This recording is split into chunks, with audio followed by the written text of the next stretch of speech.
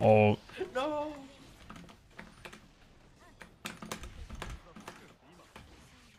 Seriously? I actually cannot believe that. But you should have done JK.